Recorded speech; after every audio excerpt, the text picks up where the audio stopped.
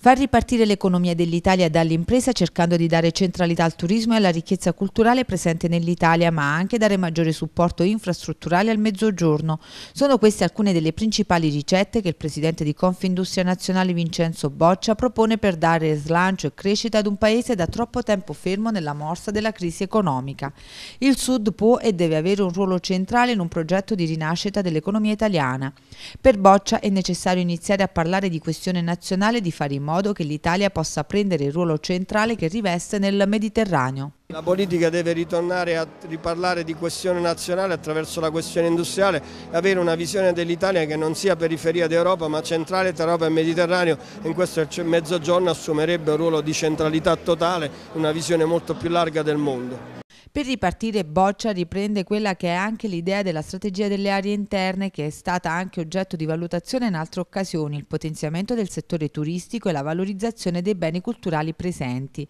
Per far ciò è anche però necessario potenziare le infrastrutture e i collegamenti, uno dei principali elementi che l'industria e le imprese devono sfruttare per poter anche dare un nuovo slancio all'economia è sicuramente la ricca offerta turistica del sud Italia, valorizzare grandi attrattori come la Certosa di San Lorenzo ed intorno ad essi costruire e potenziare il settore imprenditoriale.